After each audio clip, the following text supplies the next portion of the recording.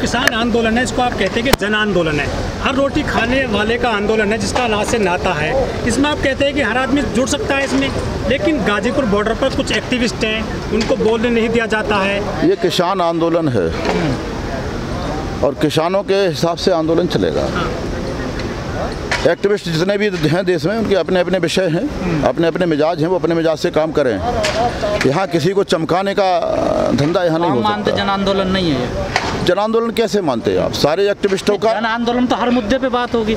छात्र की भी होगी किसान की भी होगी मजदूर की भी होगी जवान की भी बात होगी। जन आंदोलन तो वही होता है ना सर। आपके चैनल के माध्यम से आप काफ़ी दिन से चल रहे हैं यहाँ पर। ये बता दिया गया है कि सारे लोग हम तो कह रहे हैं दो जो दो रोटी खाता उसका आंदोलन है। जन आंदोलन क्या बात कहा अभी हमारे हिसाब से no no no no no. Activist और जन आंदोलन में अंतर है जी। आप एक्टिविस्टों को प्रमोट करना चाह रहे हैं इस चैनल के माध्यम से ये तो तय करेंगे हम कौन कौन से एक्टिविस्ट हमारे लिए ठीक है कौन नहीं है। तो ये तो पहले तय करना चाहिए था बिल्कुल तय कर नहीं तय हो चुका। तो दस तय हो चुका। महीने से हो रहा ना। ना ना तय हो चुका। तय हो चुका। जो सारे लोगों के खिलाफ बा, बाकायदा हमें जो इस आंदोलन के विपक्ष में है जो आंदोलन का अपने हिसाब से प्रयोग करना चाहिए उनको तय हो चुका। वो तय करना आंदोलनकारी का काम है। तय तय ये देश की मीडिया थोड़ी करेगी। ये देश के अन्य लोग नहीं करेंगे। ये तय तो हम करेंगे कि कौन एक्टिविस्ट आएगा कौन तो वो लोग आपके साथ ही थे। बिल्कुल नहीं है कतई नहीं है झूठ कह रहे हो आप। बिल्कुल नहीं कोई प्रूफ नहीं है। हाँ ऐसे ही साथ है कि कभी झटके में आ जाए कोई कभी आ जाता कोई कभी आ जाता। जब पता चलता तो उनसे निवेदन किया जाता है कि आपके लिए उपयोगी जगह नहीं है आप अपना और कहीं देखें। जादव जी एक महिला एक्टिविस्ट है कहती है खुद को कि मैं भी किसान आंदोलनकार कारी हूँ।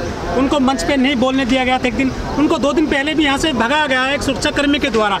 बिल्कुल जो आंदोलन में जिनकी भूमिका संदिग्ध रही है जो ऐसे ऐसे संगठनों से जुड़े लोग हैं जो संगठन सरकार के साथ समझौता करके इस आंदोलन से गद्दारी करके चले गए।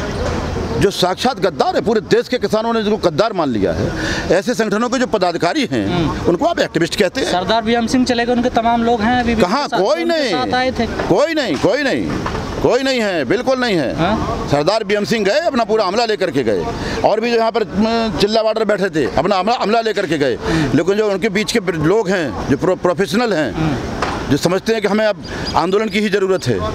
यहाँ पर आकर के अपना कोई ना कोई स्टैंडर्ड पूरा करना चाहे सारे लोगों को रोका जाएगा। नहीं सर आपको नहीं लगता इससे गलत छवि बने बिल्कुल नहीं। अच्छा गलत लोगों को रोकना गलत छवि है। हम गलत का विरोध कर रहे हैं इसके माने हम गलत हैं। गलत है, उसके साथ ये तो तो सरकार की भाषा हो गई। ये तो सरकार की भाषा क्यों बोल रहे भाई?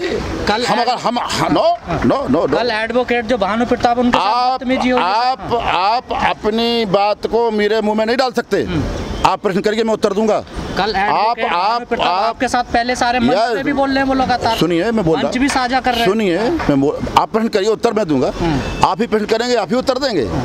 ये मज, आप आप मुझे मजबूर नहीं कर सकते। आप बता रहे हैं हाँ कोई एडवोकेट हैं? आए उनसे बातचीत हुई हमारे लोगों की। उनको गलतफहमी अपनी समझ में आई उन गलतफहमी दूर की गई। आप समझ रहे हैं मेरी बात को? उनकी गलतफहमी दूर की गई। कोई भी आकर के आपके सामने इस आंदोलन में रहेगा यहाँ पर लंगर छकेगा यहाँ सारी व्यवस्थाओं का उपयोग करेगा और कुछ भी बोलेगा आकर के टीवी पर जिससे आंदोलन की छवि खराब होगी ये अनुमति किसी को नहीं दी जाएगी बॉस। मतलब ही नहीं अगर कोई बाहर से आदमी आता किसान मजदूर एक्टिविस्ट उन्हें किसानों से परमिशन लेनी होगी। अजी परमिशन की क्या बात है? उसको एक मिनट में समझ में आ जाता। बाहर से तो बहुत सारे लोग आ रहे हैं। सरकार भी बाहर से बहुत सारे लोगों को भेज चुकी और भेजेगी। मेरे भाई सरकार भी भेजेगी। हमें सारे स्कैंडलों को समझने वाले लोग हैं।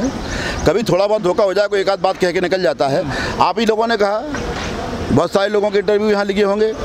आप भी बता दीजिए कि जो आपने प्रश्न किए उनके यही जवाब होना चाहिए थे। जो शब्दावली का इस्तेमाल किया गया वही शब्दावली होना चाहिए थी।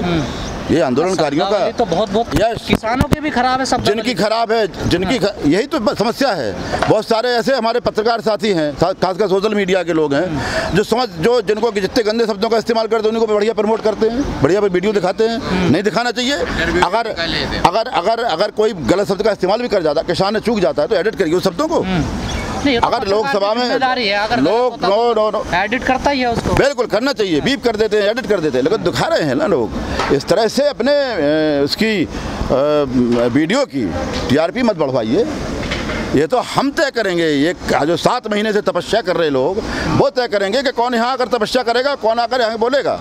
और किन मुद्दों पे क्या जवाब होंगे वो आंदोलनकारी हमें हम तय करेंगे ना। आप आप पूछे जितने कड़वे से कड़वे पूछे पूछे मैं खड़ा हूँ। जवाब दूँगा मैं। पूछिए आप। मतलब वर्चस्व की लड़ाई है। ना? वर्चस्व तो आप बनाना चाहते हैं। वर्चस्व तो वहाँ पैदा होगा। अभी कहा हम तय करेंगे। और कौन तय करेगा? आंदोलन हम करेंगे। और यहाँ पर क्या होगा ये सरकार तय करेगी। आप लोगों आंदोलन आंदोलन में क्या होगा ये हमारे विरोधी तय करेंगे। हाँ, कैसे होगा?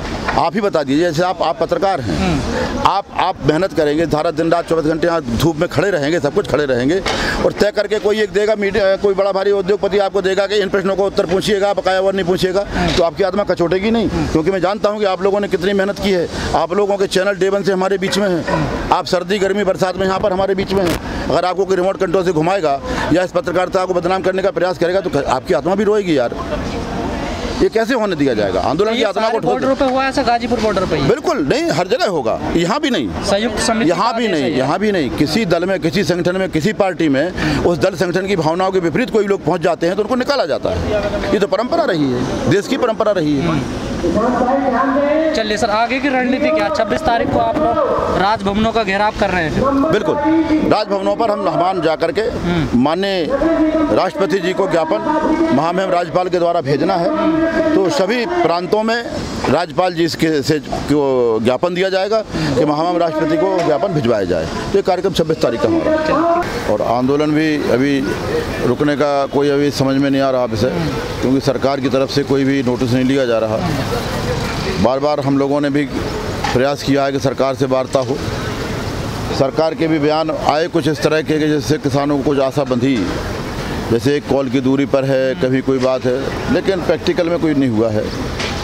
तो आंदोलन लंबा चल रहा है, किसानों की शहादत भी जारी है, बड़ा दुख का विषय है कि हमारे बीच से किसान साथी जा रहे हैं। क्या करें? मजबूरी है, देश को बचाना है।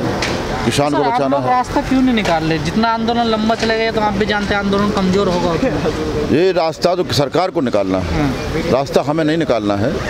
रास्ता सरकार को निकालना है। हम तो बात वार्ता के लिए बैठे रास्ता वार्ता से निकलेगा। वार्ता सरकार को जारी कर पुनः शुरू करना चाहिए। सर आपको ऐसा नहीं लगता कि किसान नेता किसी और चक्कर में लगे हों? जैसे 2024 की तैयारी कर रहे हो विपक्ष को मज़बूत करने की बात करते हो हम ऐसा क्यों करेंगे? 2024 की तैयारी जो बहुत दूर है 2024 हमारा वो काम नहीं है। और विपक्ष को मज़बूत कमज़ोर करना हमारा काम वो तो उनके अपने उससे होगा तो कहा है ममता बनर्जी से भी मिले हैं वो तो। तो ममता बनर्जी ने उनको बुलवाया था सम्मान। उन्होंने अपनी सरकार का रिपोर्ट कार्ड सर सौंपा। वैसे तो अभी तक मुख्यमंत्रियों और वगैरह से मिलकर के किसान अपना देते थे मेमोरेंडम। ममता बनर्जी ने बुलवाया है किसान टिकैत साहब को और बताया कि हम ये सब कर रहे हैं। और सलाह मांगी कि हम और क्या अच्छा कर सकते हैं वो हमें बताइए। तो इसके लिए तो हम किसी से भी मिल सकते कोई भी बुला ले। बताए कि क्या क्या करना चाहता है और क्या हमें करना चाहिए वही हम सरकार से कहने आए हैं। विपक्ष कमज़ोर है जो मज़बूत करने की बात कर रहे थे कैसे? विपक्ष कमज़ोर ना होता तो सरकार इतनी निरंकुश ना होती। स्वाभाविक है विपक्ष कमज़ोर है। विपक्ष की जो भूमिका होना चाहिए थी वो नहीं है। मुख्य भूमिका तो विपक्ष की सदनों में होती है। सदनों में विपक्ष कमज़ोर पड़ जाता है बिखर जाता है। जो भी इनकी मजबूरी हो जिससे सरकार निरंकुशता से काम कर रही है। तो निश्चित है विपक्ष कमज़ोर तो है में। सर आठ महीने बाद यूपी में चुनाव होने हैं और आप यूपी प्रदेश के अध्यक्ष हैं भारतीय किसान यूनियन के। क्या तैयारियाँ हैं आप लोगों की? चुनाव की तैयारियाँ तो राजनीतिक दल के लोग करते हैं। हम तो आंदोलनकारी हम तो आंदोलन की तैयारी कर रहे हैं। आंदोलनकारी वापस आ रहा है बराबर बॉर्डर पर। जो गए थे यहाँ से खेतों में गए थे काम करने गए थे। देश के 130 करोड़ लोगों के पेट भरने का जो व्यवस्था है उसमें गए थे। अब वो अपना कर चुके हैं आ रहे हैं बॉर्डर पे वापस आ रहे हैं। बॉर्डर मज़बूत हो रहा है आंदोलन मज़बूत हो रहा है। पश्चिम बंगाल में बीजेपी को हराया यूपी में नहीं हराओगे? अपने गुणों से हारते हैं भाई। जनता है ऑब्जर्वेशन करती है कि क्या हमारे साथ अच्छा किया क्या गलत किया। तो अपने अपने कर्मों से हारते हैं यहाँ भी सरकार की जो भी पाँच साल के कारनामे होंगे जनता सारी की जनता उनका ऑब्जर्वेशन करेगी और निर्णय लेगी। सर पौने सात महीने से आंदोलन को हो गए हैं? जो नवंबर दिसंबर में जो आंदोलन था और आपके आंदोलन में क्या अंतर नज़र आ रहा है? आपको नवंबर दिसंबर का आंदोलन जो था वो शुरुआती दौर था। हमें आपको भी बताना पड़ता था कि हम क्यों आंदोलन कर रहे हैं कानूनों में क्या कमी है क्या काला है। आज इस स्थिति में आकर के ये क्लियर हो गया है सारी दुनिया जान गई हमें पूरे देश के किसानों को भी बताना पड़ता था। अब बताने की ज़रूरत नहीं पड़ती सारे लोग समझ गए हैं कि कहाँ क्या कमी है। और सरकार ने भी स्वीकार किया है कि एक दर्जन से ऊपर तो गलतियाँ हमसे उन्होंने स्वीकार ही ली हैं। इसके बाद वार्ता बंद की अगर वार्ता जारी रहती तो जाने कितनी गलतियाँ निकलती। माननीय सर्वोच्च सर्वोच्च न्यायालय ने भी स्वीकार किया कि ये कानून देश के हित में नहीं उन्होंने फटकार लगाई और रोका। तो उस समय के और इस समय के आंदोलन में यही है कि हमारे आंदोलन की स्वीकारता बढ़ी है। पूरे देश में लोग जागरूक हुए हैं। अपने हकों के लिए जागरूक हुए हैं।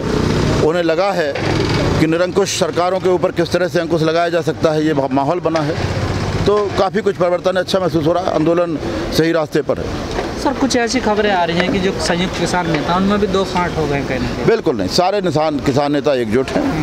कोई दो फांट नहीं है बिल्कुल पूरी मजबूती से एकजुटता से आंदोलन में सब भागीदारी करते हैं। जो किसानों का पहले विश्वास था आंदोलन पर वो कहीं ना कहीं कमज़ोर हुआ है क्या? बढ़ा है। किसानों का आंदोलन विश्वास बढ़ा है। क्योंकि कोई भी देख लें एक्शन, सरकार के पक्ष विपक्ष में कोई माहौल बनने वाली बात होती है तो निकल के बाहर आ जाता है, लोग संतुष्ट नहीं सरकार के कारनामों से। तो माहौल बना है, बहुत अच्छा माहौल बना है, आंदोलन के पक्ष में बना है, और किसान समझ रहे हैं कि आंदोलन की सफलता कितनी ज़रूरी है इस देश के लिए। सर, एक तरफ़ आप लोग कहते हैं कि यूनियन जो है राजनीतिक है, और दूसरी तरफ़ आप लोग चुनाव की बात करते हैं कि हम बीजेपी को हराएँगे या वो कर देंगे, ये कर देंगे। अब ये बताइए कोई आपको परेशान करेगा? आपकी अपेक्षाओं पे खरा नहीं उतरेगा? और अगर उसको हराना राजनीति है तो जिताना क्या होगा? हार जीत का तो धंधा सरकार राजनीतिक दल के लोग करते हैं। हमको मताधिकार करना पड़ता है। संवैधानिक प्रक्रिया है संवैधानिक अधिकार है उसका प्रयोग करना पड़ता है। और मैं आपके माध्यम से कहना चाहता हूँ कि देश के हर उस नागरिक को जिसको मत देने का अधिकार है अपने मत का प्रयोग करना ही चाहिए। और पूरे सोच समझ के करना चाहिए कि हम किसको वोट दे रहे हैं। दे रहे हैं तो क्यों वोट दें? और हम किसी को वोट नहीं दे रहे हैं तो हम क्यों नहीं देना चाहिए हमको वोट? तो ये अधिकार तो मतदाता का है। 2022 में खुल के विरोध करोगे बीजेपी का? अजी विरोध की क्या बात है? हम तो सरकार का विरोध करते हैं पार्टी के क्या मतलब? है हमें पार्टियों से क्या लेना देना? हम तो सरकार के विरोध में आए हैं सरकारें हमारा नुकसान कर रही हैं। कोई किसी एक पार्टी की सरकार तो है नहीं वहाँ पर। वहाँ तो काफ़ी लोगों की सरकार है। तो विरोध सरकार का होता है। और सरकारों का विरोध आज भी कर रहे हैं, कल भी करेंगे और हमेशा करते रहेंगे।